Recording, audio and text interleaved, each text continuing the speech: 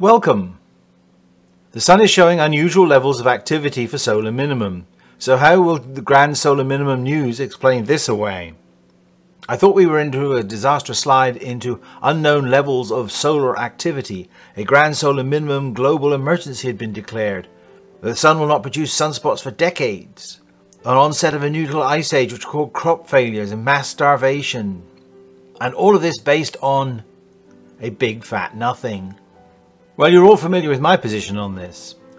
That we are still in the decline phase of solar cycle 24. We've not even reached solar minimum yet and that won't happen for at least another year or two.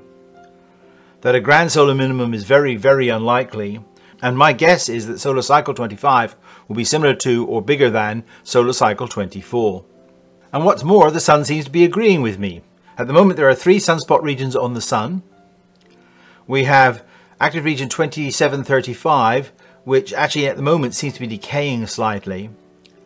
We have the new region that's developing very rapidly, active region 2736, uh, which is producing flares at the moment.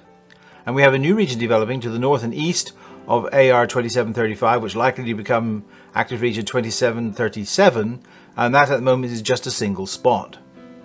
So how did we get here? I'm going to show you two movies. The first, the Solar Dynamics Observatory HMI Continuum channel, which shows the sunspots developing,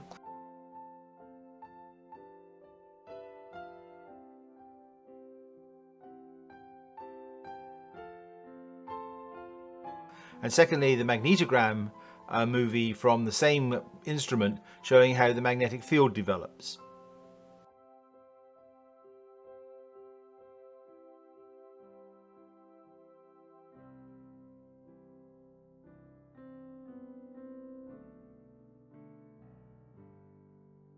You might say some of the predictions I made were spot on, forgive you'll forgive the pun. 16 hours before the flares, I made the following prediction a sunspot group emerging ahead of active region 2735, also an old cycle region, solar cycle 24, judging by its magnetic polarity at low latitude. If they continue to develop, there may well be interactions between them which will equal flares. 10 hours before the flares, I upped that to a chance of at least small flares in the next day or two.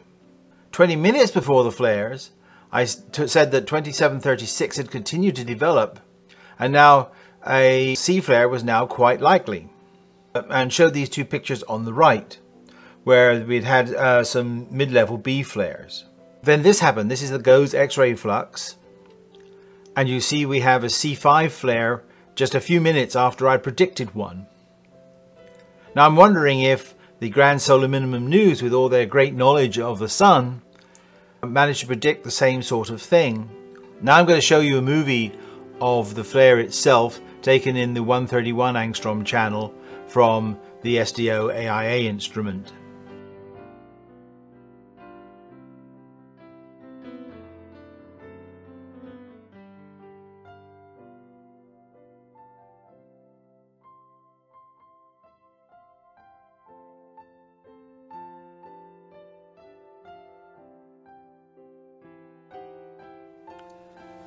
Well, my conclusions from all of this, apart from that Grand Solar Minimum News doesn't know what it's talking about when it's talking about the Sun, is that the Sun remains in its slow decay phase from solar cycle 24.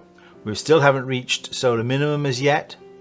The Sun is still producing sunspots and minor flares. The current sunspot number is 38 according to the Solar Influences Data Center.